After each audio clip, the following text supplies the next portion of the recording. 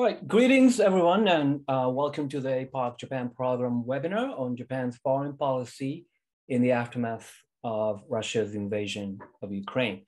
Uh, my name is Kiyoteru Tsutsui and I'm the director of the Japan program at the Shorenstein Asia Pacific Research Center at Stanford University. Uh, it's been nearly two months since Rush, uh, Russia's invasion started and the whole world has been following the news coming out of Ukraine and reacting with horror, compassion, anger, administration, uh, admiration, uh, despair, empathy, and various other strong emotions. Um, and this uh, invasion, this war, is most certainly one of the defining events of our lifetime, and it has produced a seismic shift in foreign policy of many countries in the world. And today we'd like to focus on the impact of the war uh, in Ukraine um, on Japan's foreign policy. Um, the security environment for Japan was already quite challenging uh, with two nuclear powers, China and Russia in its neighborhood, and another one emerging in North Korea. And there was already a growing concern about China's intentions in East China Sea and South China Sea, and Japan has uh, worked hard to develop a coalition of like-minded countries in the region with the US-Japan alliance as a cornerstone of its foreign policy. Um, and the war in Ukraine has sparked new debates in Japan about its defense policy, nuclear sharing, its approaches to territorial disputes in the region, uh, from the Senkakus, Taiwan, to the Northern Territories just as it, uh, the war has changed the discourse um, around foreign policy issues in the US, Europe, and many countries in the world. And with all these complex issues to think about, we are very fortunate to have two leading experts today from Japan to discuss these issues. Uh, first, we have Hiro Akita, an award-winning journalist who has been at Japan's premier business publication, Nikkei, newspaper for decades. He has served as a foreign correspondent uh, both in Washington and Beijing, uh, also in other places.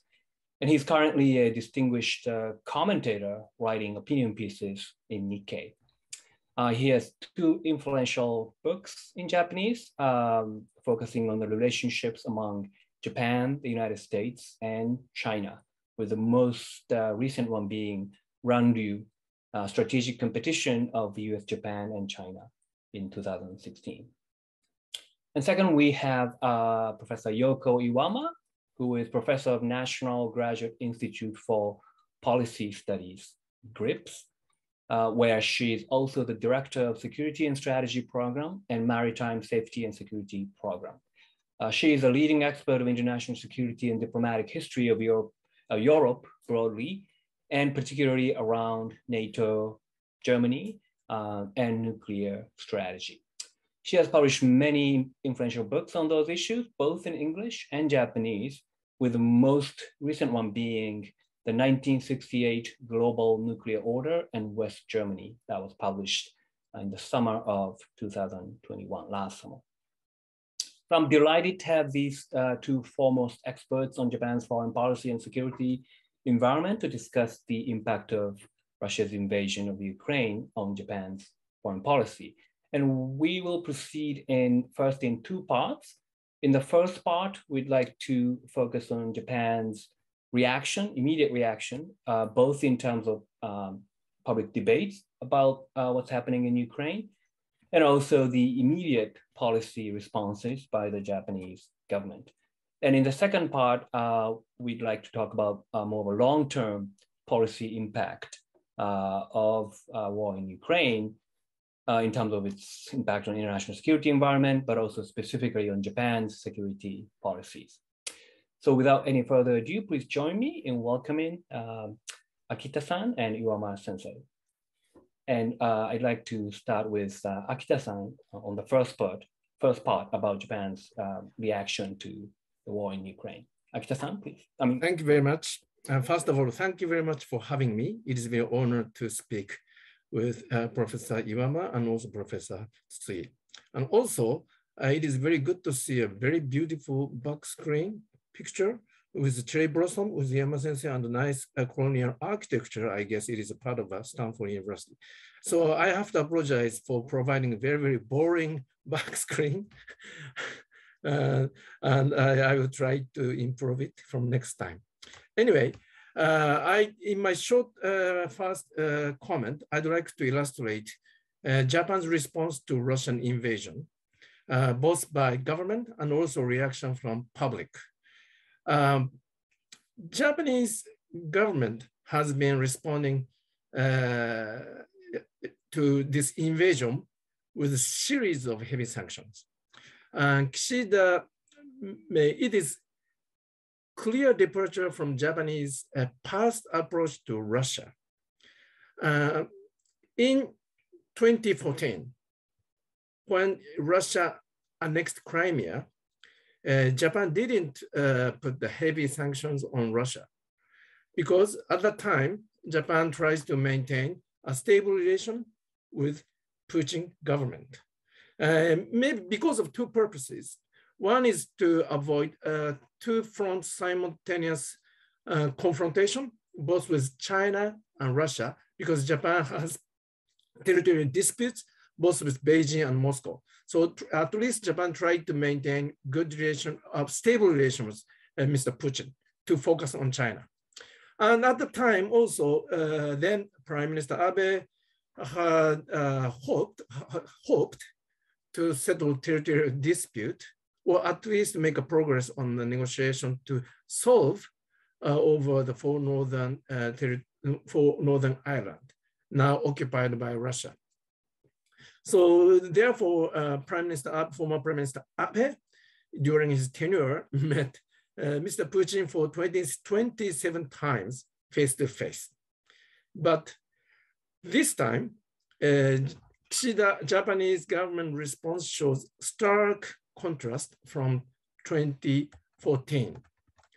Uh, one of the biggest decisions, according to the Japanese official, uh, made by Prime Minister Kishida was to impose sanction on Mr. Putin and also Foreign Minister Lavrov himself. It was early March. And this decision may, means that Japan will no longer uh, regard uh, Mr. Putin as a counterpart. So no negotiation for peace treaty or no cooperation unless uh, Mr. Putin will withdraw from Ukraine. So this is a kind of big uh, change and stark contrast. And this means that Japan will, uh, this is caused, um, this decision uh, was made because obviously what is happening in Ukraine is so terrible and horrible.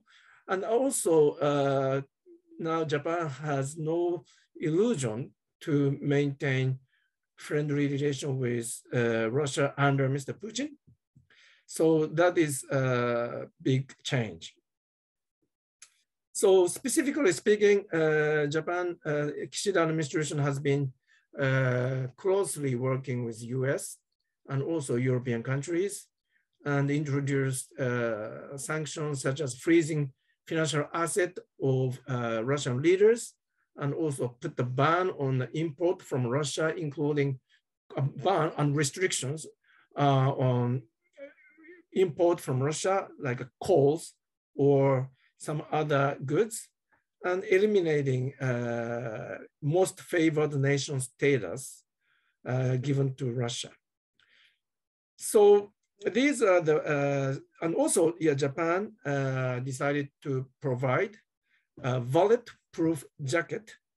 Uh, that is not the you know lethal weapons, but this is a politically big decision for Japan because this is virtually first time for Japan to provide uh, defense equipment to the country under the uh, war. So uh, Japan, uh, it is also politically, uh, you know, an extraordinary decision Japan made. So what about the public reaction to that? As far as public polls shows, uh, Japanese public strongly support uh, government uh, policy or approach to Russia.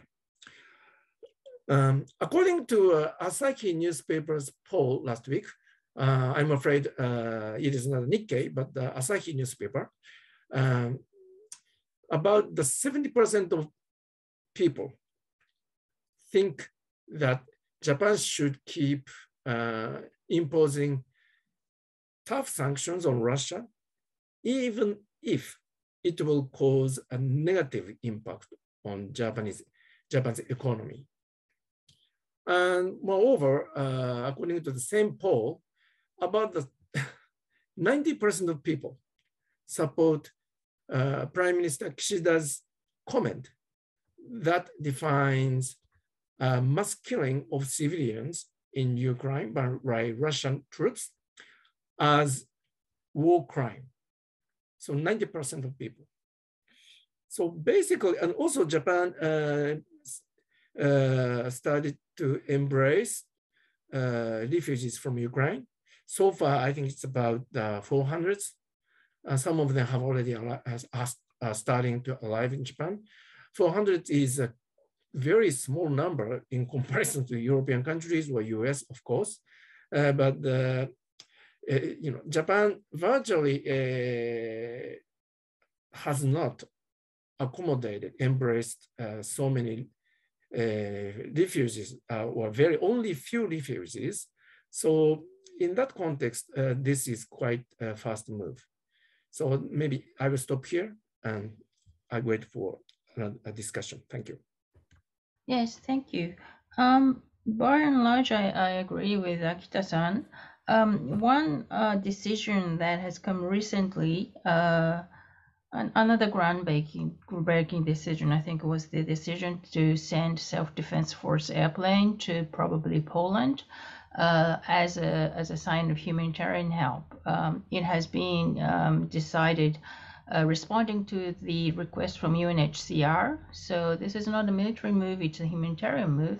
Nevertheless, um, I think uh, it, it, really uh, sets a, a, big example that self-defense force airplane lands in probably some Polish uh, military airfield, I would imagine, um, to help the refugees. So I think it really becomes a symbol uh, that Japan is this time really acting as a part of the Western um, international society and um, as a as a member of G7.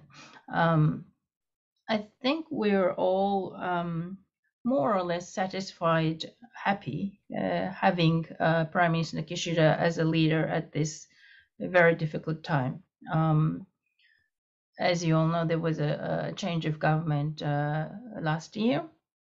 Uh, and so we had already broken with this uh, several years of uh, tradition of Abe foreign, foreign policy, one of which was to um, deal with the long delayed Second World War um, the end of the Second World War with Russia or Soviet Union, whichever you, way you see it, uh, including the northern territories, of course. Um, and that I don't think uh, anybody really had any optimistic feeling about these islands um, in in these maybe 20 years there might have been a chance, you know, immediately after the, the breakdown of the Soviet uh, Union. I, am not an expert on this, I don't know. But after the stabilization of uh, Russian domestic politics, I, I really don't think anybody had much hope about uh, the fact that uh, these islands are coming back in a, in a reasonable way. Um, somehow there were people who persuaded Prime Minister Abe and his surroundings that uh, you can persuade uh, Vladimir Putin into doing this uh, in exchange for certain economic inducements. And that illusion was around for many years. I think it has done more damage to our foreign policy than any any service.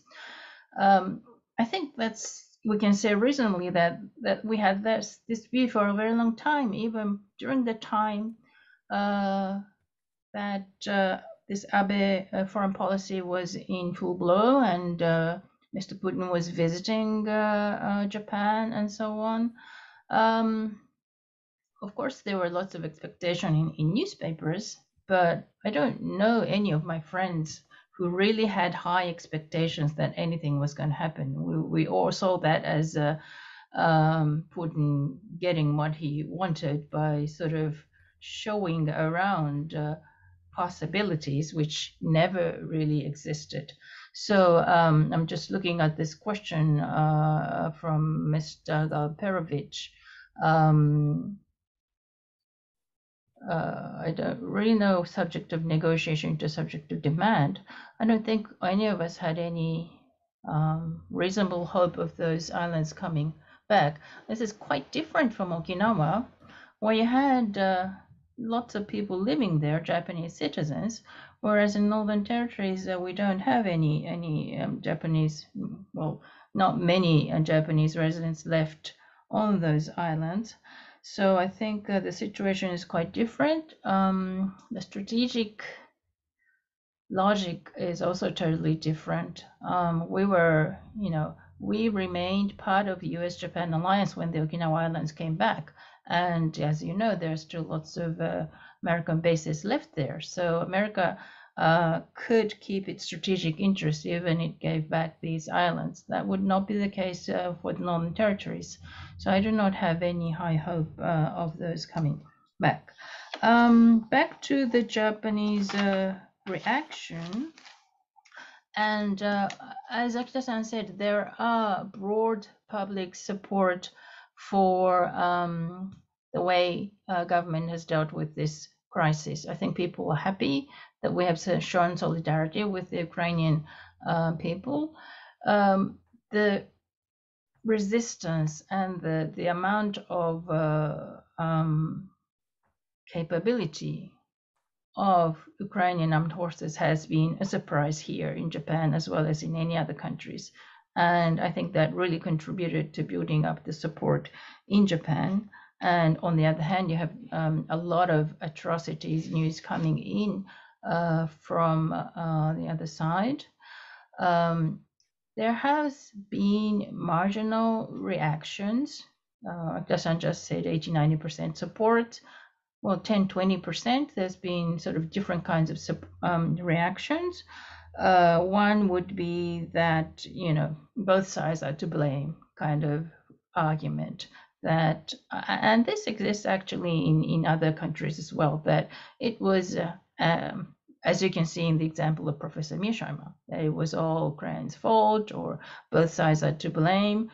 Um, of course, there were lots of things that happened before, but it doesn't justify in any way the, the um, way that Putin has really um, stepped down upon the sovereignty of, an independent nation and further has cry, um, committed so many war crimes. But there have been, um, at the fringe, people saying that both sides are to be blamed.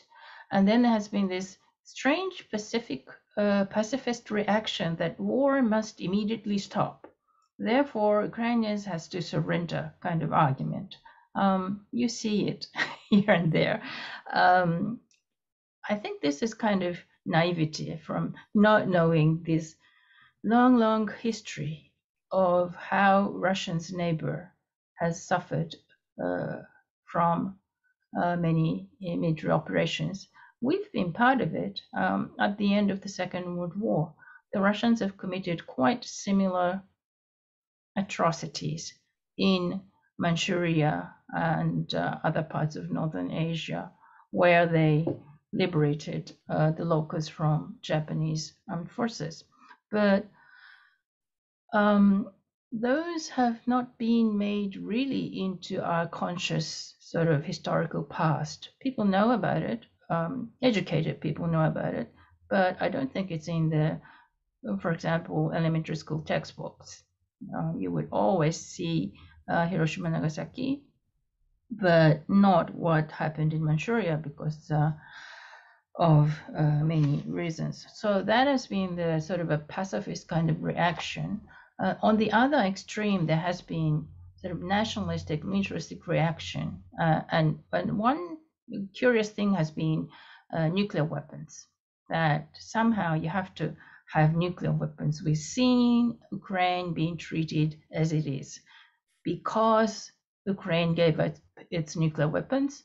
Therefore, Japan must try somehow to get its hand on nuclear weapons. Um, and so this suddenly popped up a debate about nuclear sharing. Um, I think there were several people before, including Ishiba-san, uh, arguing for nuclear um, sharing before.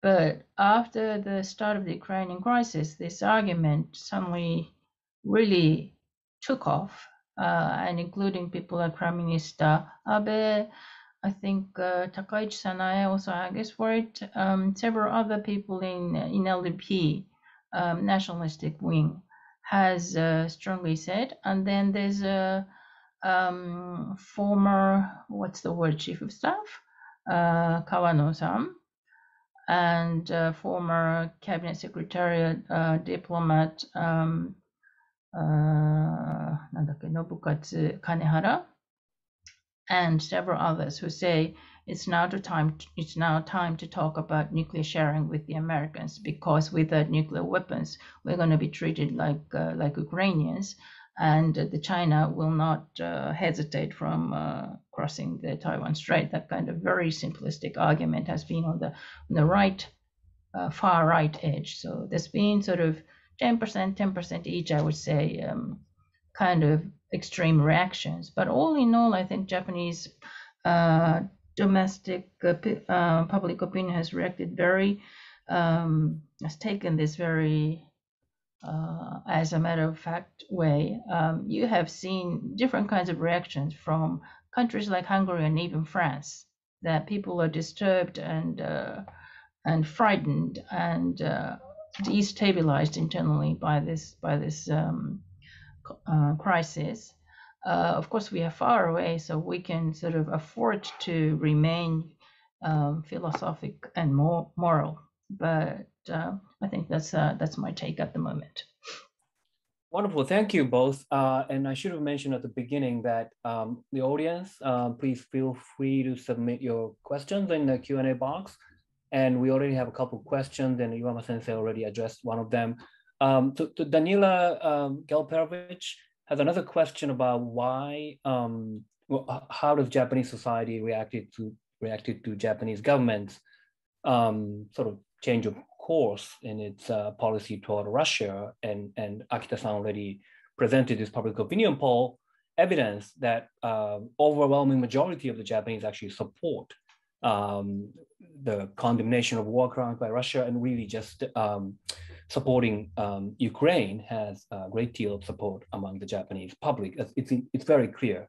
And that begs the question, and also it relates to the second question from Yamada Mixan um, about why the response is so different today compared to the response, the Japanese response in 2014 when uh, Russia took over the Crimea. Um, and and also uh, Danila Galperovich points out how um, Prime Minister Abe really wined and dined President Putin trying to negotiate a deal on um, the ending of the World War II and also uh, Northern territories. Um, in hindsight, was uh, so that the, maybe it was that there wasn't that much support uh, toward Prime Minister Abe's policy toward Russia, and now it's kind of coming out.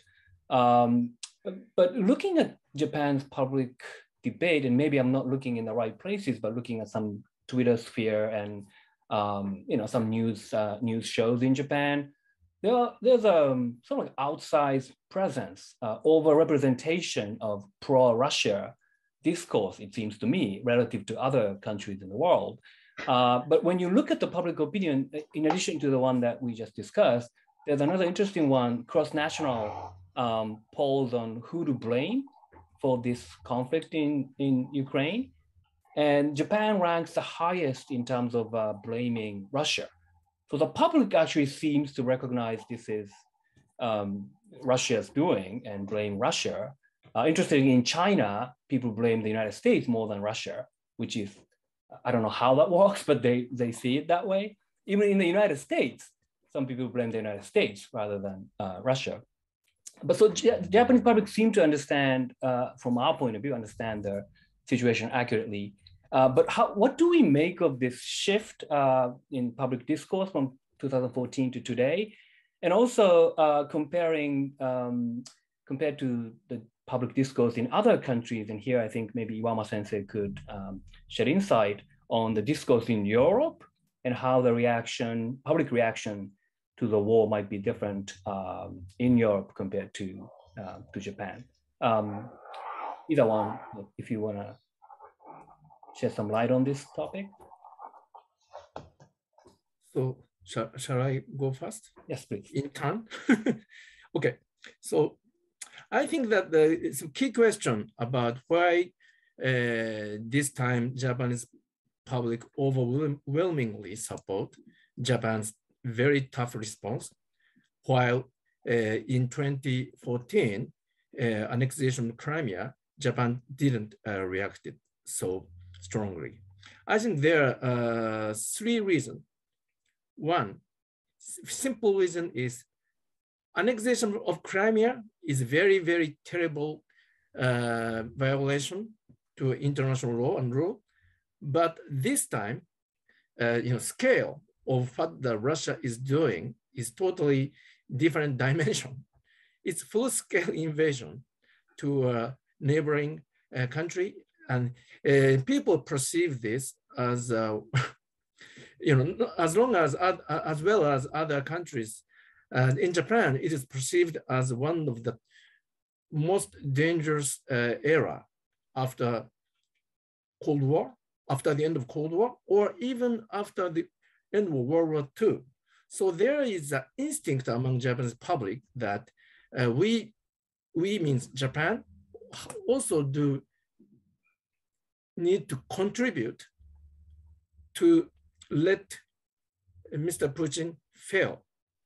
In other words, if Mr. Putin uh, will succeed in annexing uh, Donbass or some of Ukraine, or you know, uh, will succeed to uh, control Ukraine as a whole, it will be a totally different uh, world.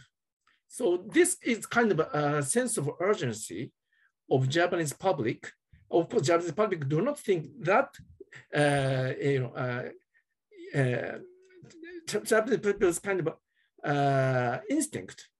So that is the first thing first element. But second element is that uh, sense of vulnerability of Japanese public. It's related to the first uh, element, but there is a growing sense of insecurity, I think, in Japan, uh, because of North Korean uh, nuclear missile development, and also, of course, a potential uh, conflict in Taiwan Strait, and also Japan will not uh, forget uh, Trump era when US allies faced a kind of risk being, of being abandoned from the US.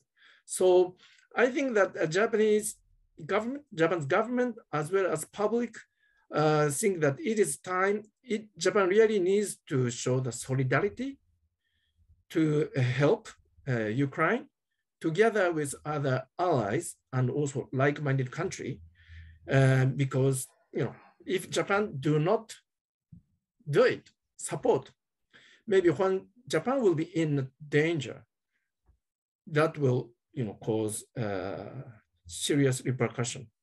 So the second is a sense of vulnerability of Japanese uh, people or government uh, make Japan reacted very proactively to Ukraine. And thirdly, uh, I think that the Japan uh, strong, uh, deep disappointment to uh, uh Japanese the or to to caused by the kind of like a de facto failure of Japanese approach to Russia since uh, in past decade. Japanese public, as Iwama sensei, Iwama, Professor Iwama described, Japanese people do not necessarily believe or hope, believed that uh, through the negotiation, Japan can get uh, for those uh, islands get returned to Japan. But uh, at least Japan, uh, Japanese public and Japanese government uh, hoped that Japan and Russia will be able to coexist under the peace treaty. We don't have a peace treaty with Russia. So four islands is, is kind of symbolic uh, obstacle, but Japan once hoped that maybe we will be able to sign a peace treaty to further normalize its relation with Russia. Russia will not be a maybe friendly country, but at least uh, coexist under peace treaty. But after the failure of uh, Japan's Russian approach, um, I think there is a deep disappointment or maybe a kind of a rational acknowledgement among Japanese public that uh, we cannot hope uh, so much uh, from Russia under Putin regime. So these are the three elements combined together made Japanese reaction. That is my observation. Thank you. Um, if I can add just one thing, um, if you think Japan's change is uh, abrupt, uh, you should look at Germany. And there, the policy turnaround has been phenomenal, really. Um, we share Japan and Germany rather similar um, security culture of being restrained, uh, not really sort of uh, going ahead to use force as such, but trying always to work in a multilateral, multinational environment, um, seeking to uh, name our activities peace, some sort of peace operations instead of saying this is war, right? That had been our culture. And you've seen Germany turn around overnight, virtually. It was really overnight. Um, I, I, haven't counted the days, but uh, you just saw um, uh, uh, Chancellor Scholz uh, turning around and saying, uh, uh, we're not going to accept this. We are going to start spending 2% of our GDP on, on defense year after year after year. That was virtually what he said. And we haven't heard that from Prime Minister Kishida yet. So I don't really think Japan's reaction change, um, policy change has been quick. Uh, I think it has been, well, relatively slow, relatively slow. Um, it's a big change, but it's not happening in the speed that uh, is happening in Germany um, uh, for certain reasons. I think. I mean, we are still far away from from Ukraine. Um, we don't really see refugees pouring into our, our, railway stations, which is happening in both Poland and Germany. Um, they have received millions, and we've only received hundreds. So there's a, there's a, this distance uh, which uh, accounts for the, for me, slow reaction of Japanese politics. Um, Crimea, as Akita-san said, was a local uh, in, in crisis. Now, I think you know things would have been totally different if Putin had concentrated his military efforts on the eastern regions from the beginning instead of just hitting uh, Kiev and trying to uh, topple the government and set his own puppet government there. I think that was his plan, and to do it in a very short time, which failed as we saw. But if he had really concentrated on the two um, eastern regions and sort of uh, put up uh, nationalistic um, reasons reasonings for for um, occupying those uh, territories, I think international and Japanese uh, reactions would have been different. It, it, they would have treated it as a kind of a border dispute, but this was really an assault on sovereignty of one independent country. Was a totally different degree, and I think therefore um, we took it as such and reacted because uh, this was really it, it, goes to the fundamentals of of international order that we we rest on if you let these things happen and do not denounce it um, who would be on the line next. So I think that was very clear, and I totally agree about the um, disappearance of illusions that some may have had concerning uh, Russia. That uh, you can sort of um, hoped that you can talk these people into friendships. Um, you know, it may not be a good thing that uh, for if you see it from diplomacy that uh, you put all the blame on the Russians and uh, cut all the ways uh, for um, somehow to build peace. Um, but the extreme um, nature of the conduct of war, I think, has made it rather uh, impossible to avoid. But I have to add that we've been here before.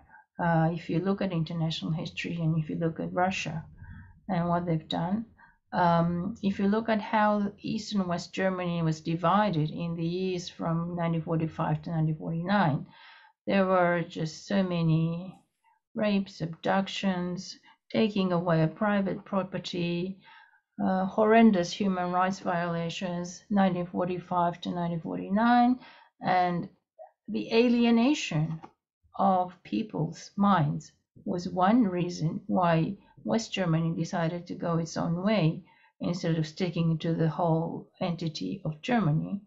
And uh, we've seen it. Uh, um, 1995 Chechnya War is kind of very similar uh, to what's going on currently. So we've seen it again and again. You look at Finnish Soviet relations and you see very similar things happening again and again. And so um, this kind of desperation that Russia does not change after all these years and after all these sad histories has really sort of driven the reaction to the extremes, I think. I'll stop here. Wonderful, thank you. Um, one last question about public discourse in Japan. So in the US, there's a lot of uh, framing of the, the conflict right now as being one between good and evil or democracy versus authoritarianism.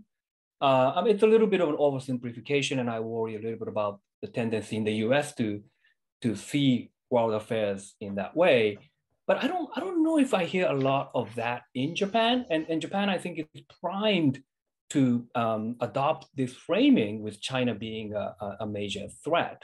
So in the U.S., China and Russia are kind of you know bundled together as authoritarian, kind of potentially evil uh, enemies.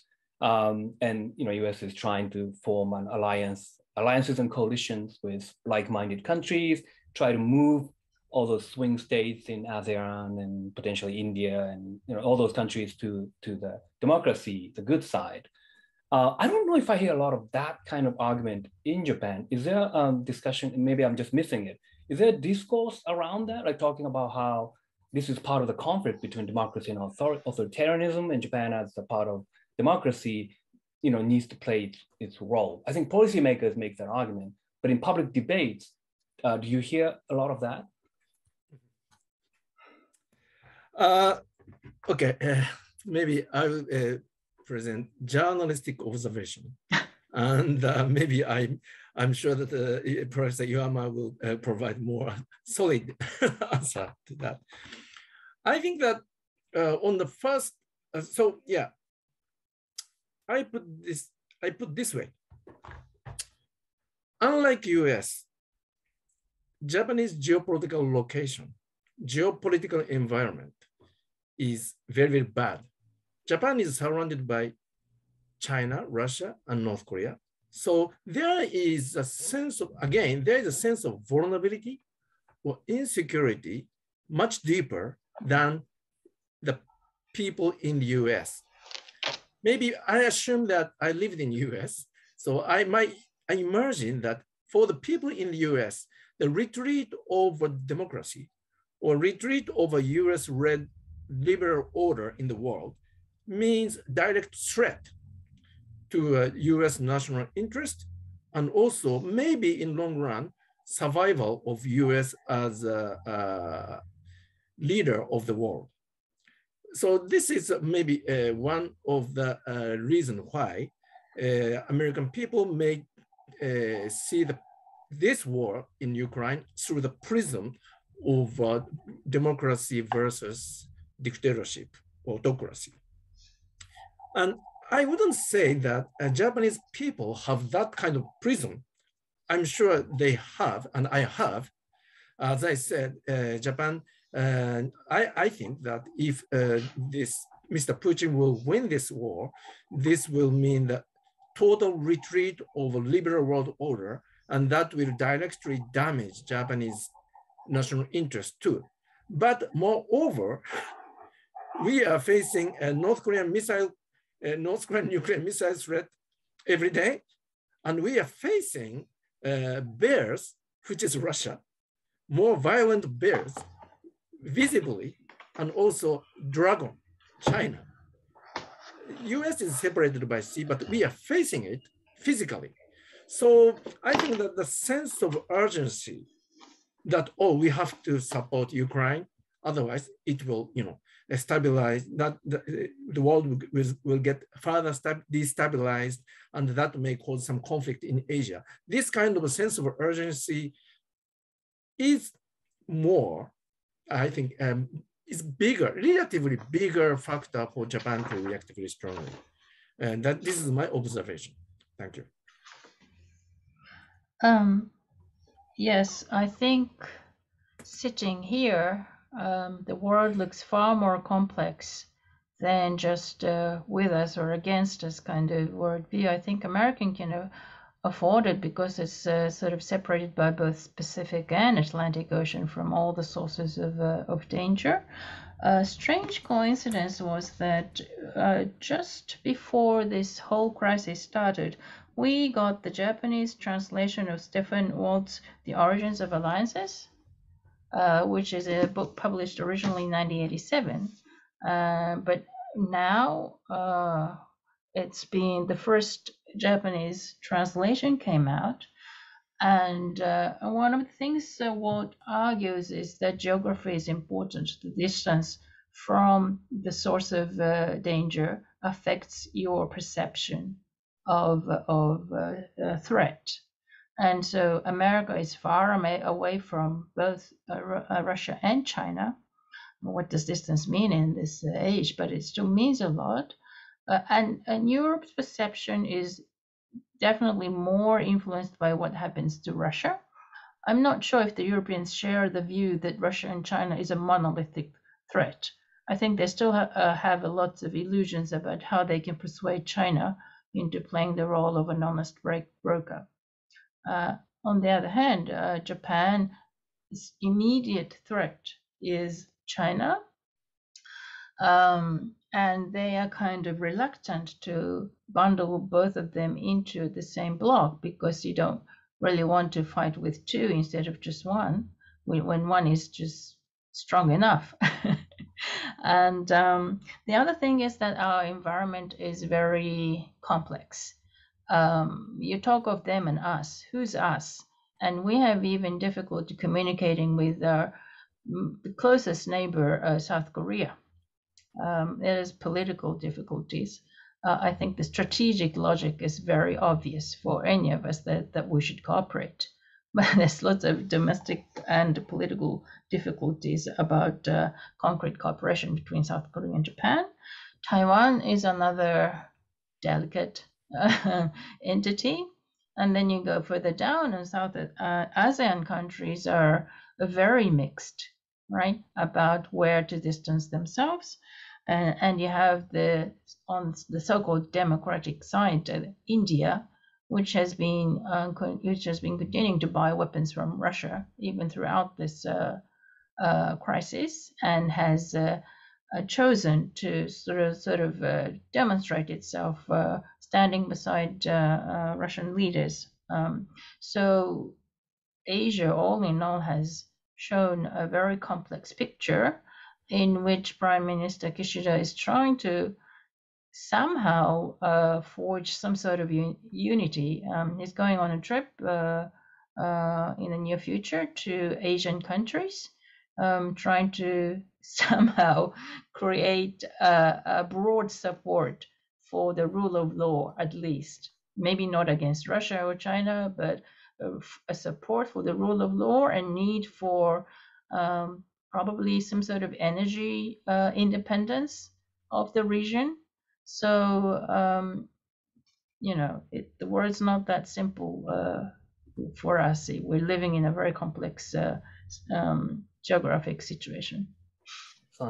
Thank you. So um, I, would like to move to the second part of our discussion, which is more focused on the long-term ramifications, uh, policy consequences of the conflict in Ukraine, um, both in terms of uh, how that has changed and will continue to change global world politics. Um, and Iwama Sensei in particular has great expertise in NATO and Europe and, and Germany um, and nuclear issues. And uh, Akita-san recently wrote an excellent piece in Nikkei, Nikkei about China's response to different uh, scenarios of uh, the outcome of Russia-Ukraine.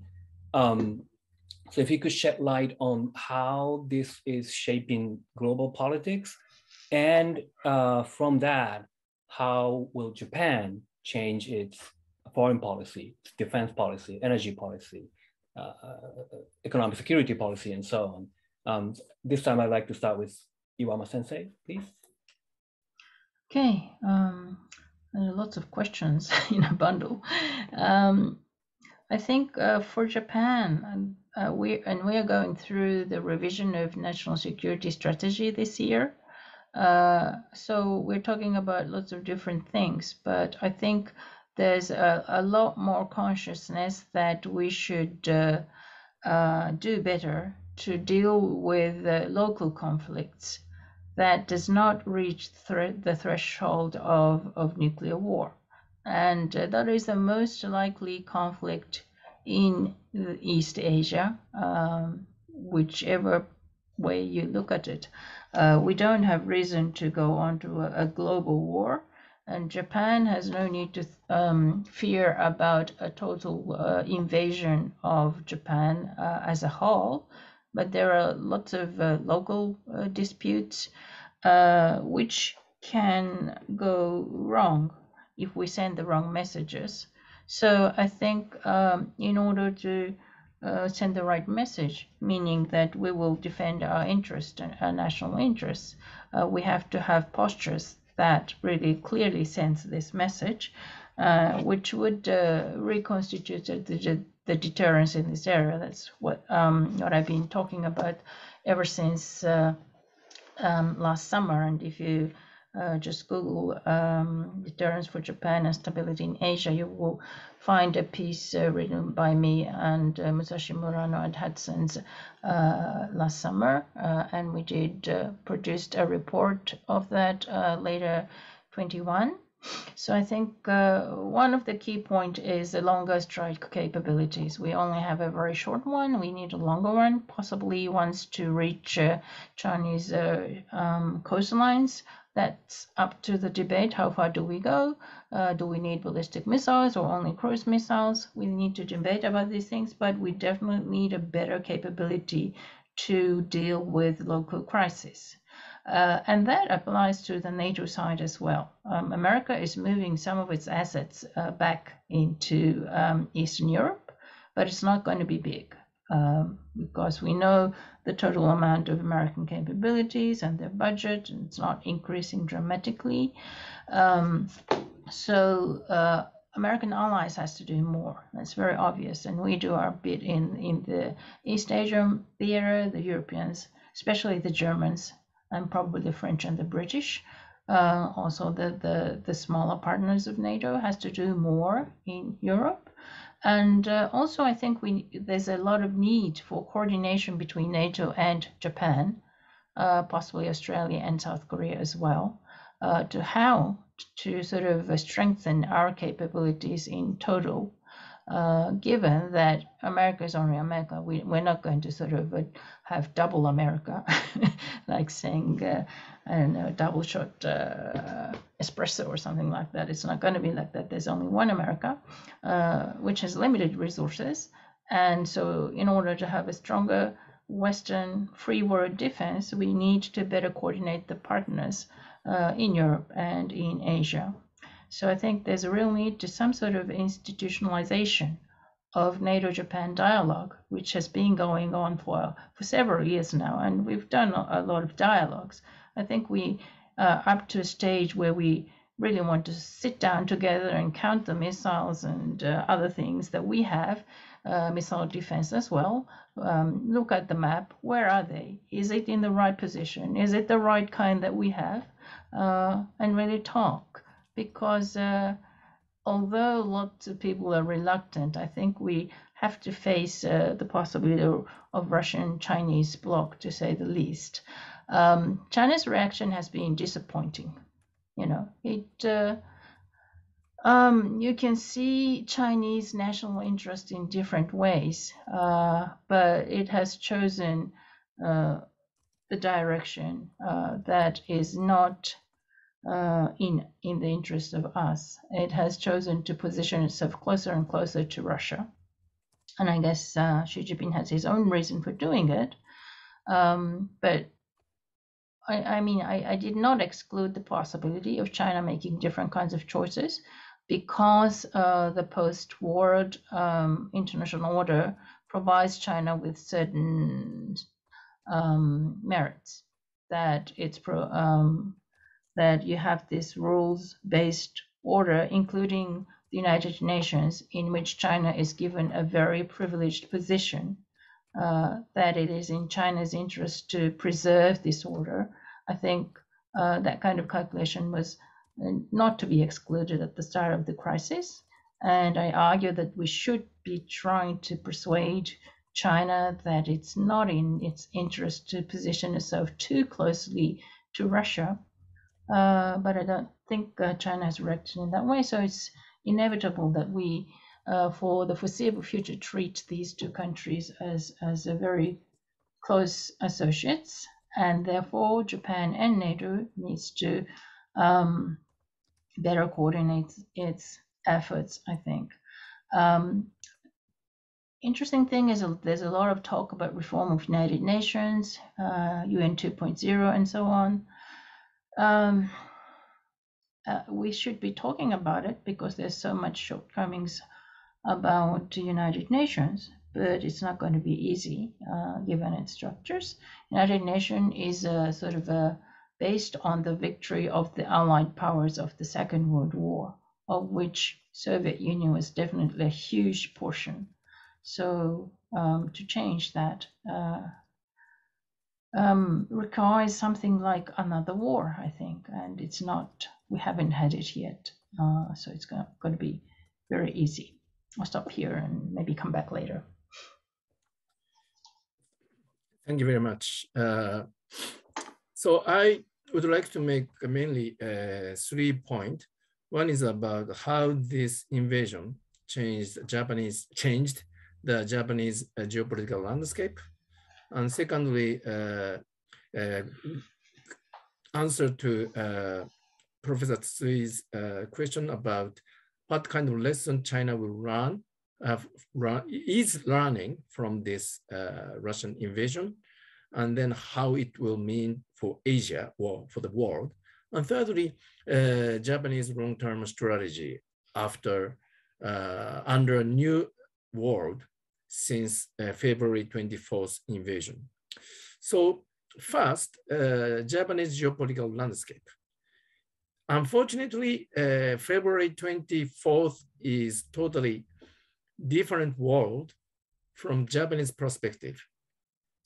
Again, uh, Japan uh, now faces two uh, unfriendly adversary, that is both China and Russia, and then also face a North Korean nuclear missile. Japan is, of course, within the range of nuclear ballistic missile of, of North Korea.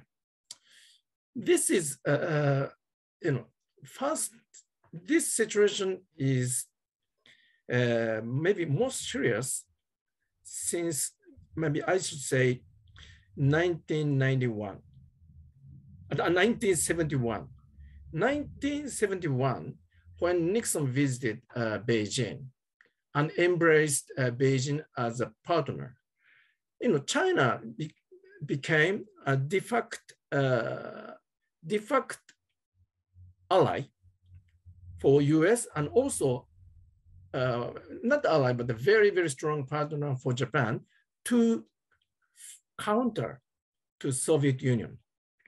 So since then, up to the uh, since then up to 1991, uh, until the time when uh, Soviet at the time when Soviet Union collapsed finally, China was our side, and then after the collapse of Soviet Union, uh, both Russia and China uh, seemingly, we once hoped that they would become a partner.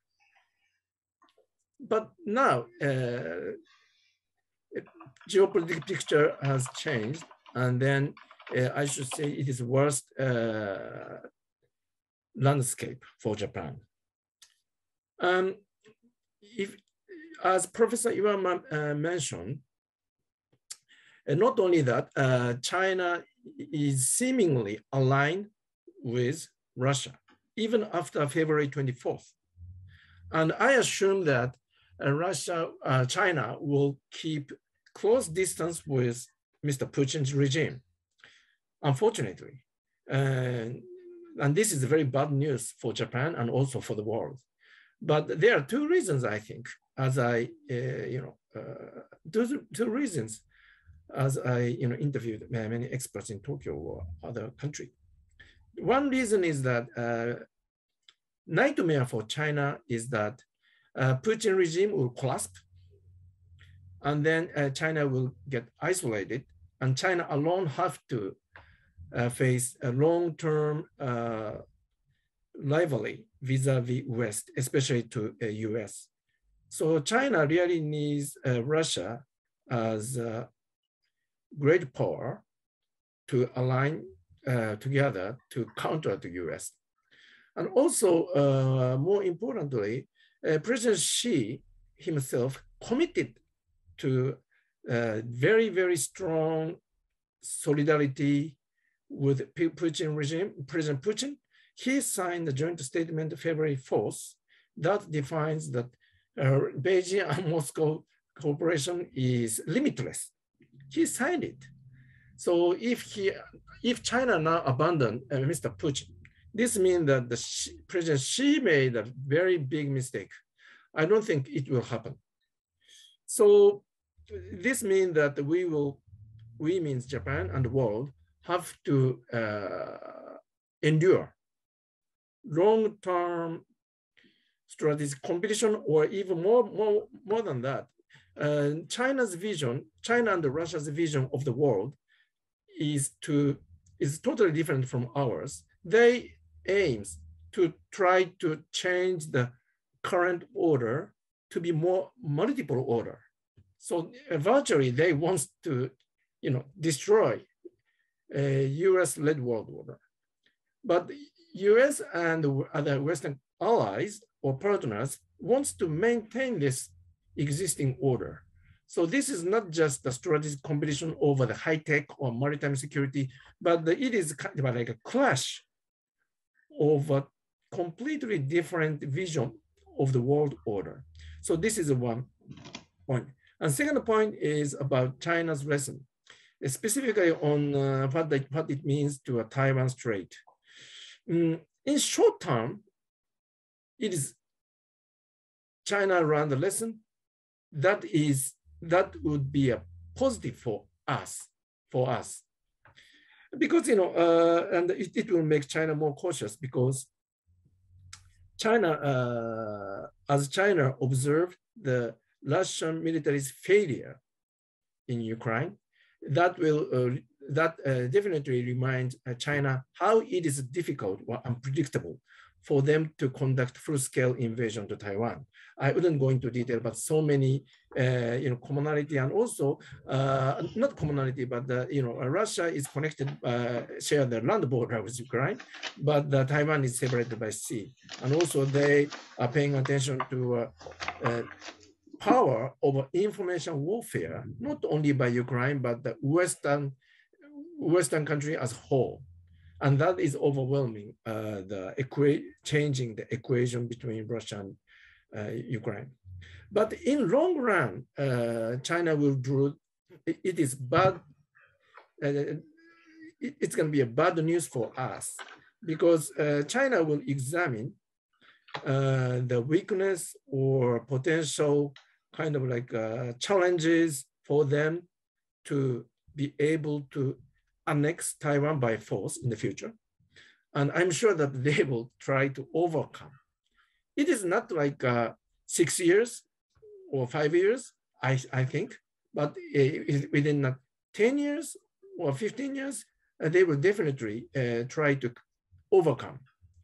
And it doesn't mean that they will uh, invade Taiwan, but it means that they will have a very plausible, more plausible option to annex Taiwan by force. So short term good, but uh, long term negative. And lastly, uh, just a short comment is on Japan. Uh, I echoed uh, Professor Iwama's uh, comment. Um, Japan, so this is a wake up call for Japan, and Japan will uh, revise the national security strategy for the first time in nine years. And I think in that, Japan will uh, make three commitments. One is to further uh, accelerate uh, the increase of defense budget. I think that uh, maybe it is likely to put the 2% of GDP as a goal, in not maybe not short term, but a long term goal. I hope and I think uh, they will define the goal. And also uh, maybe Japan will make a policy change to for self-defense forces to acquire a strike capability. Now, SDF, self-defense forces, basically focus on defense capability and uh, you know uh, rely on U.S. offense capability. But maybe uh, Japan will change it to have a better deterrence capability. And lastly, Japan will have uh, Japan will try to push for, uh, uh try to further enhance U.S.-Japan alliance, but uh, also try to reach out to a like-minded country more uh, proactively. Thank you. Um, okay. I'd just like to add a word about energy. Um, it's been popping up in several questions. Um, uh, Akita-san and I talked uh, essentially about what we need to do in, in defense uh, capabilities. Um, I think the real issue is energy, though um, sort of defensive uh, policies are needed to um, sustain the situation, uh, not to let the other side think that we're not ready and they can trample on us. But I think in the longer uh, view, who comes out of this competition victoriously is, I think, who uh, can uh, get the breakthrough in terms of uh, um, technologies related to energy. And I think we're going to have a lot of discussion this year and the next year. This year, uh, Germany is the chair of G7. Next year, it will be Japan. And I think energy will be central to what we discuss, as well as the really short term reactions to what's happening in Ukraine and so on. Um, how uh, quickly and in what ways do we make ourselves uh, uh independent from fossil fuels? Um, very concretely the gas and oil from Russia. Uh, and here Germany is especially dependent on Russian energy, but Japan also uh, to a lesser extent. And uh, um, I think France has shown a kind of reflex reaction that it's going to renew its effort on the nuclear energy side. Um, whether that is the reaction all of us want to take or we want to invest in different kinds of technology. And does that technology really have a future? There's a lot to be asked. But i think this is really a race against time in several means that uh, we make ourselves independent from fossil fuel and make a breakthrough into an, a different type of sustainable society.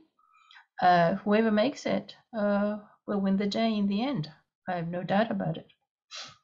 Great. Um, I want to go back to geopolitics, but since you raised uh, energy policy, and, and this is going back to Yusuke Mitsumori's question about um, any possible change in nuclear power plant policy? Uh, he's asking about Japan, but Iwama Sensei, maybe you can speak to Germany. Uh, Germany has had to cut off basically Nord Stream 2, and there's massive energy need that may not be met for at least a couple years uh, without Russia's energy, uh, natural gas. So uh, what do you project in, in Germany as well as in Japan? Um, does this bring about a change in their nuclear uh, power policy? Um, in the short term, definitely, uh, because uh, we're going to be short, and especially Germany is going to be short on gas for heating. Um, what uh, they're they're really sort of living in a situation that any moment um, Russian gas can just be cut, you know, cut, and uh, it's not going to flow anymore. Uh, currently, it's flowing, and Germany is paying, and a lot of people denounce Germany for that, that they're not totally cutting off oil and gas uh, import, uh, and that is feeding Putin's war. Um, you cannot deny that, but on the other hand, uh, you cannot uh, sort of uh, push the nation into energyless uh, situation overnight. I think that's uh, rather irresponsible. But Germany is doing everything to speed up the transition as much as possible, and in that transition, they will have to rely more on nuclear energy because. Uh, simply, they cannot count on Russian gas. They were counting on gas for the transition from uh, the current status to renewables in five, 10 years. But now this gas part is going to be missing. So they will have to fill it partly with coal and partly with nuclear energy until they have the next generation technology. Uh, but Germany is really serious about making the transition. I'm not sure about Japan. Um, I hope it can become equally serious. Um, I mean, energy transition was on the high top priority of the coalition government and the G7 um, issues uh, this year uh, without Ukraine war. And now with Ukraine war, it's really, really at the high priority of Japan, um, German government. Um, and Japan is also kind of uh, walking on tight ropes. Uh, we nearly had a blackout. What several weeks ago was it, yeah, yeah, yeah. yeah. um, it was like we were like on 103 percent of the limit of uh, power here, and everybody's kind of, oh no, when does it uh, go off? And people just trying to save energy by turning off this and that and that. Um, it's kind of weird in an advanced society like Japan that we have to do something like that. It's partly because we haven't turned back the nuclear power plants, not not all, but partly. Um, so that may come. Um, but again, that's not an easy choice to make. Um, personally, uh, I don't believe in relying too much on nuclear power, not at least not to the extent that the French are doing. I don't think that's our that's going to be our choice. I think we need to rely on different sources. Um, we used to rely on something like 30% on nuclear power. Are we going back to that level? It's a national discussion to be had.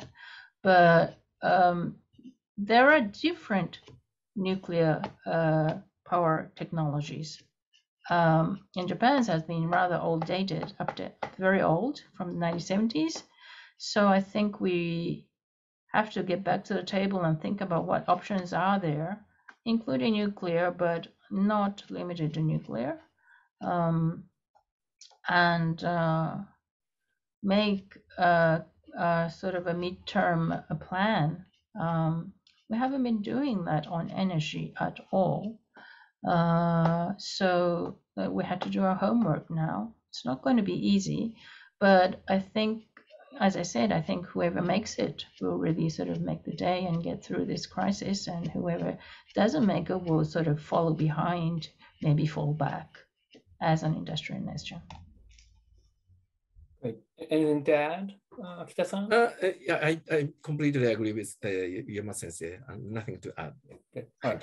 So going back to the geopolitics of it all, um, and this is a question earlier from uh, Jay Wilberforce about how um, it seems like Russia is very useful uh, in theory to balance counter China. and it makes sense to move in, in that direction. But given what's going on right now, it, it's becoming increasingly more difficult to to see that scenario short of you know Putin's regime falling or something. Uh, but is there a way forward in making that happen after the conflict? Um, and he's worried that uh, strong policy to corner Russia by the United States and other countries would only drive Russia into the arms of China, which is which is what has been happening already. But um, and and Donald Xi raises this scary, uh, worrisome prospect of India kind of joining, moving more in the direction of China and Russia. That would be a, a trouble for the Quad and, and Japan and the US and Australia. Um, but you know there are some signs that India is um, uh, might be flirting with that idea. So how do we uh, prevent that from happening? Um, if maybe Iwama Sensei could bring in um, European countries, which before the crisis, before the Ukra Ukrainian war, uh, bringing in some like Britain and France, Germany, they brought uh, you know aircraft carrier or a frigate to the Indo-Pacific region to sort of project its uh, their maritime capability. So how do how does that play into this uh, international order in the Indo-Pacific region? Um, maybe starting with um, Akita-san this time. Okay, thank you. So uh, I think uh, two major, two key questions. One is about the China and Russia, and secondly is about India. So on the first question, uh, I have to confess that uh, maybe in, uh, in past, I mean, in past years, I wrote a commentary several times to insist that we should uh, maintain maintain stable relation with Russia to uh, not to be not to necessarily to drive a wedge. I don't think that we should have an illusion that Japan can. Uh, well, Japan alone, of course not, but the West can drive wedge between Beijing and Moscow, but at least try to slow down the pace of the formation of a de facto axis by China and Russia. So I basically once supported the Prime Minister, former Prime Minister Abe's approach to Russia. Uh, and I thought it was uh, kind of a, makes sense from the geopolitical uh, calculation so that we can focus on China. But uh, in past maybe two or three years, I started to change my mind. and now com completely changed my, my, mind, of course, after February 24th, uh, because of two things.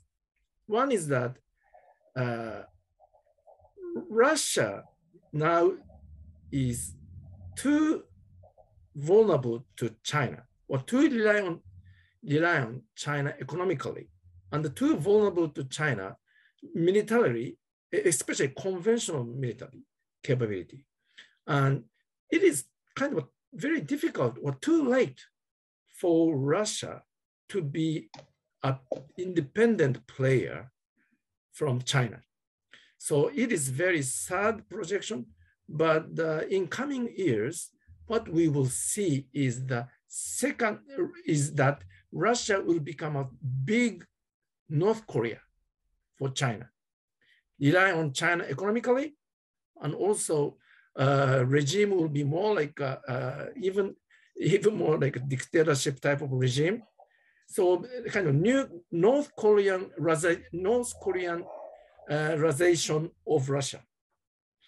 Uh, so in that sense, uh, it makes sense, still sense for us to bring Russia back to our side after a Putin regime, but uh, it is there aren't there aren't to be there aren't be so much hope in short short term.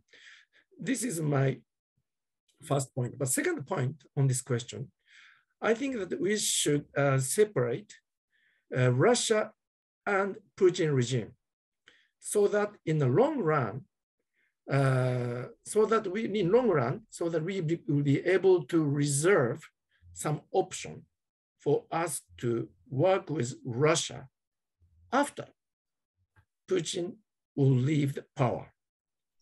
I don't know uh, whether it will be a plausible scenario or not, but at least uh, it is good idea to leave the kind of room for us for that option by separating Russian regime, a Putin regime, and Russia. So this is on the China-Russian uh, question. And on India, uh, actually I'm traveling to India to attend the conference next week. And I'm uh, watching uh, Indian this calculation uh, quite uh, carefully. And I drew two conclusions. One is that uh, maybe two, maybe one, uh, one conclusion that is basically uh, India wants to focus on China. Uh, they have a, a, land border dispute. So India wants to deter, deter or counter China. That is the first priority. And in that context, uh, they cannot afford to alienate Russia because they rely on Russian weaponry system 70%. So alienating or resenting uh, Russia means uh, they, their military in short term will have serious problem. So that that will so and then that will weaken the Indian capability to counter China.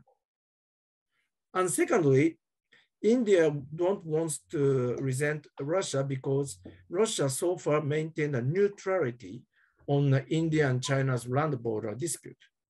But uh, so for them, uh, uh, for that reason, uh, they are uh, maintain neutrality on this war in Ukraine. I think it is bad, to be honest. I, I want India to come to our side because we made a decision. So I want India to make a painful decision. But at the same time, uh, difficult paradox is that we want India to be able to counter China. So in order to do that, they need a Russian weaponry system. They, in order to do that, they are kind of a, try to maintain a neutrality.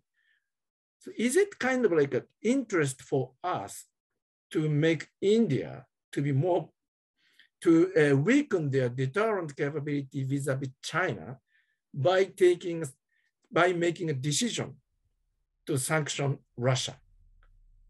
It is maybe there would be a pro and con and on this specific question, I don't have answer.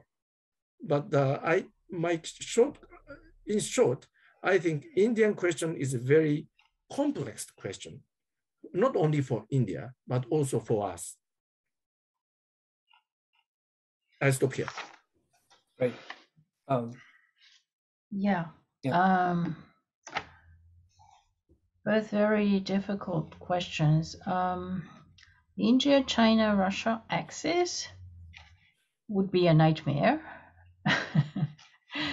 but um, I think uh, you have to understand the difficulty of countries who share direct land borders. It's not easy. And India is not in NATO, it's not even in a direct alliance with the US. Uh, and it also has a Pakistani problem. So not all our interests are going to converge, I, and I think you have to accept that. Even inside NATO, Turkey has a different standing point, and uh, you have to live with that. Um, Turkey in the midterm is, is, is a worrisome state you know, if it's if it can stabilize its uh, domestic politics or not um, is a worrying question for NATO as a whole. And Turkey has played a very important role. Uh, we've seen that in this Ukrainian war by blocking the, the straits out of the Black Sea. Um, so, you know, its strategic importance doesn't change. Uh, but it always remains as a kind of a weak point in NATO, uh, which is worrisome. But um, we have to, well, make do with what we have. And what we have is definitely an alliance of maritime countries, uh, and AUKUS is one of it. France is also part of this FOIP um, naval activities. Um, I think um, I'm all for Japan playing a role in AUKUS. Um, this is not only nuclear submarines, it seems to be about more, although nobody really knows what it's about yet. Uh, but I think our interests are very clear and uh, very um, convergent that we want uh, to maintain a free and open sea uh, at the least. And so UK, France, um, Japan, Australia all share their interests.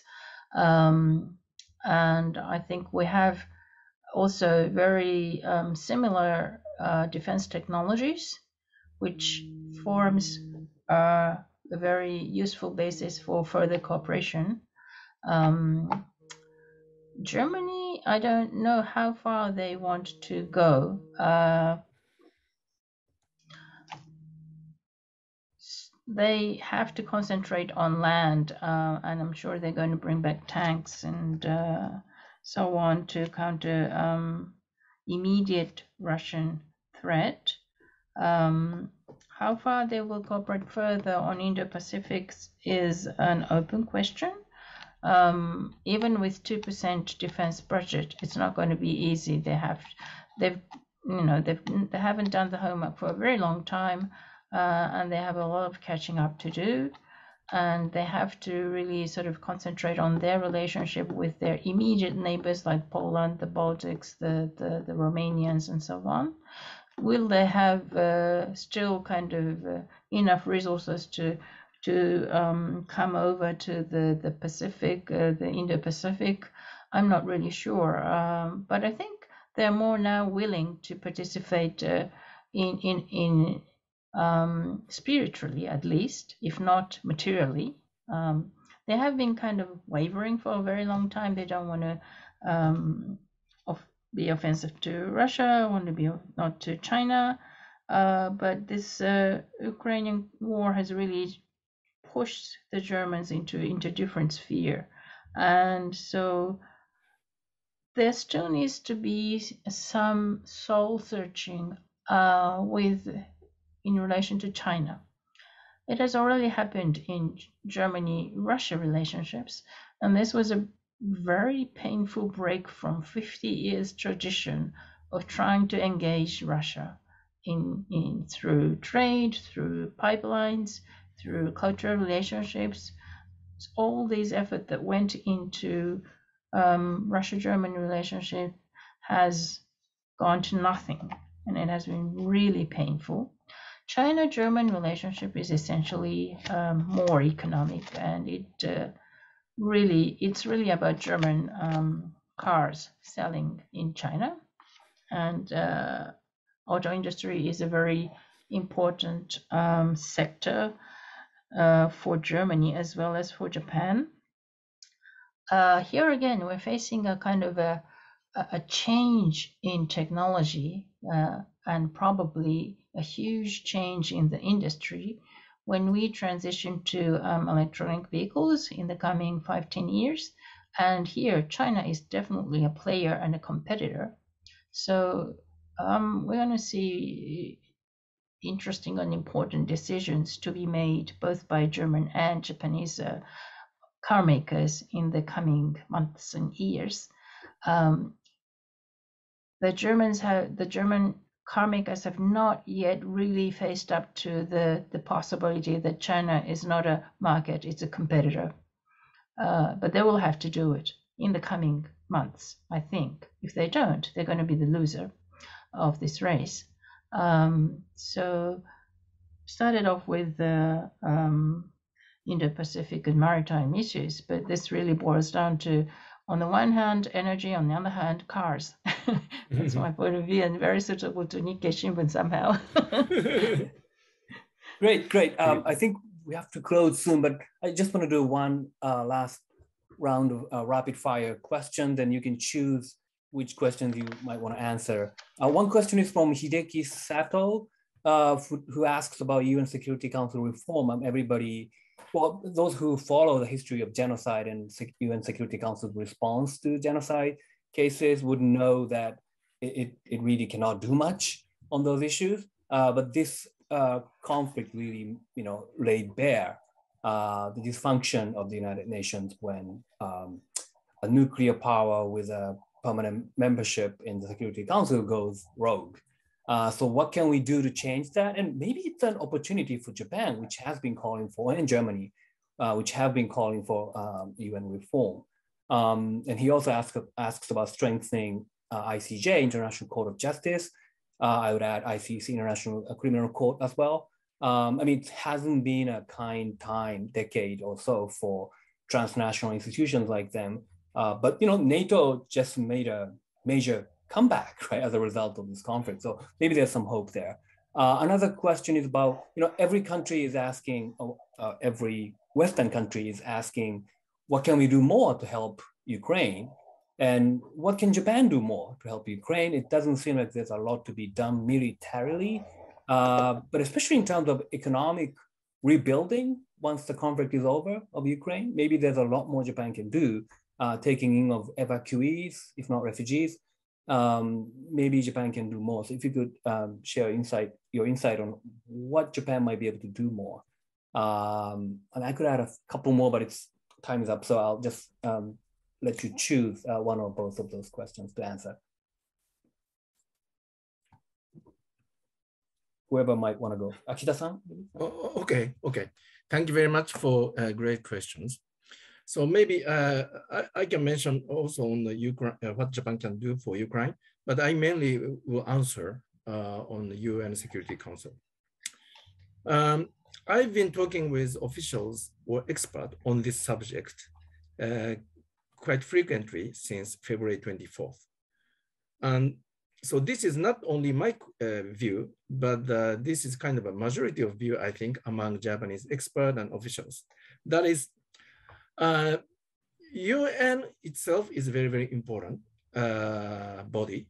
UN have many, many kind of organization, such as UNHCR or WHO, and you know, uh, many but UN Security Council is, uh, we cannot hope that UN Security Council will function in a way to defend uh, world order, especially in this kind of crisis, because uh, Russia have a veto power. And if there were to be a crisis in Taiwan, I we don't uh, expect that China will, you know, uh, uh we expect that China, it's very likely that China will use veto to, for UN Security Council to take action. So, so this is kind of common sense observation. So prescription, as for prescription, uh, I think there are two. One is to pressure uh, China and Russia more and more by using a vote at UN Assembly. Of course, it doesn't stop uh, for Russia to use veto power, but at least we can uh, increase the political and the diplomatic pressure to Russia when they, and also raise the cost for them to use veto power. So this is not the solution, but this is uh, uh, one of the uh, prescription. But more important prescription is to establish uh, some form of a coalition outside UN to pressure UN. Uh, if UN will not, UN Security Council will not change, maybe we should further, we should further institutionalize uh, the framework by like-minded country to act together when UN Security Council cannot act. Specifically, I, I wrote commentary uh, to uh, propose for G7 country to institutionalize G7 framework by uh, defining its mission and its principle and agree on the, on the document and then further expand the membership or to by reaching out to a country like Australia or South Korea and other you know, like-minded country. And of course, there is a kind of a risk this kind of institutionalization of G7 or like-minded countries framework will further divide uh, the country, uh, the divide between the West and other country, especially uh, those countries who that abstained or opposed to anti-Russian resolution. But uh, it is any, any prescription prescription have a pro and con. So I think that we should think about it uh, more seriously. On the Ukraine, um, I think what Japan what Japan should do now is to make whatever it takes to uh, make Putin's invasion fail. That will, you know, minimize the cost for Russia, Ukraine to uh, reconstruct economically. But of course, uh, Japan uh, can uh, provide economic and humanitarian assistance to uh, build post-war Ukraine uh, infrastructure and also uh, post and also uh, to rebuild Ukraine after the war. Thank you. Yes, um, thank you. Um, I totally agree with uh, Akita-san that uh, United Nations is not only Security Council, it also has General Assembly, which should be used more uh, creatively, I think. Um, the peace and security matter is uh, uh, in the first uh, sense is security council matters but it, when it doesn't function like it's not currently uh, and in the past there have been examples the general assembly has been uh, the part to discuss matters when security council is not functioning in the way it should so i think the um, diplomats of the world should be more creative about the way they use general assembly to come up with the immediately needed solutions and uh, and then just go ahead with the coalition of the willing having the authorization of the General Assembly, if not the Security Council. Um, I think that's uh, worth taking the risk and, and it's very much worth doing. Um, human rights violations and strengthening uh, ICC and ECJ. We we have a lot to do there, and uh, Tsutsui is more of an expert here than me. Um, but I think uh, what can be said uh, from this particular crisis is that the um, morality has a meaning and it has strength. You know the the um, weakest point I think of the the so-called uh, very strict realists who think only the power matters. Um, I think they're wrong. Um, power matters, but so does morality. And Putin is on the weaker side precisely because he has totally neglected the power of the morality and how people of the world feel um, what's wrong and what's right. And a lot of people just feel so angry about the way Putin totally neglects the value of things like life and human rights. And that plays a role. And so we, as experts, have the obligation to better build institutions who can really give these feelings a more concrete form.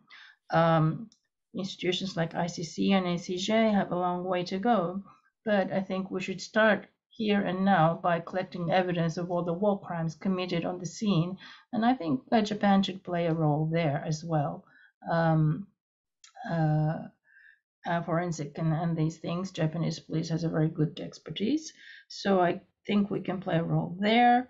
Um, I know that we're not going to be able to arrest Putin in the near future and put him on trial. It's not going to happen unless Russia really collapses and we we somehow capture Putin like uh, uh, the way we did Milosevic. Um, I don't know if that's going to happen. It's not impossible, but I don't see a high probability that it will happen.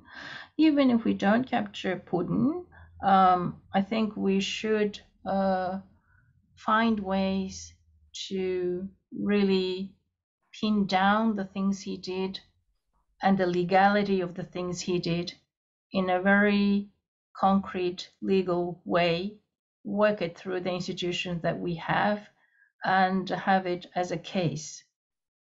that will have effects, long-term effects, not a short-term effect, but it would definitely have longer-term effects.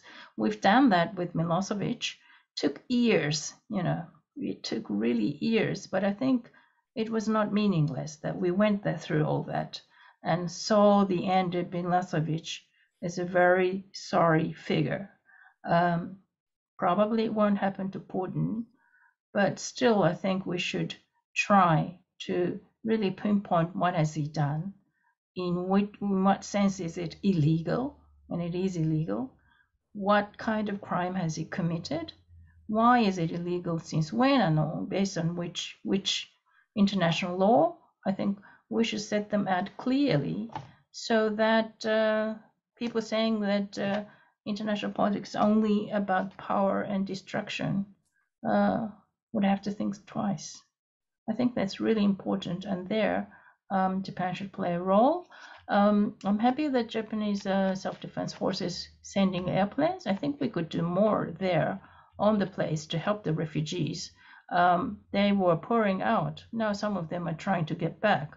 Uh, in either way, they're going to need a lot of help, I think. And uh, um, so I'm happy that uh, Prime Minister Kishida is probably traveling to Europe after Asia to find out uh, in place what's really needed, what kind of help can we provide.